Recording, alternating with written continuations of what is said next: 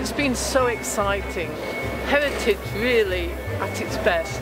This iconic locomotive coming back to its birthplace shows what Doncaster ingenuity and innovation can deliver both in the past and currently at present. The Flying Scotsman, one of the most famous of all steam locomotives, designed by Sir Nigel Gresley, had pulled the first non-stop train between London and Edinburgh.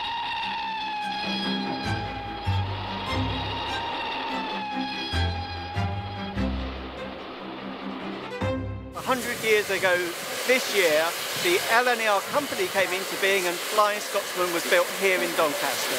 Flying Scotsman went on to become the first locomotive to achieve 100 miles an hour in service and of course to cut the journey time between London and Edinburgh. It's a really fantastic day. Flying Scotsman is coming home. Doncaster is the place that birthed Flying Scotsman. Uh, and it was created by the communities, the people of Doncaster, and they are immensely proud of their railway heritage. I've been tiny, I followed her all, all my life. So I came to see her here when I was about, I don't know, seven or eight, and I've still got the pencil case and the badge.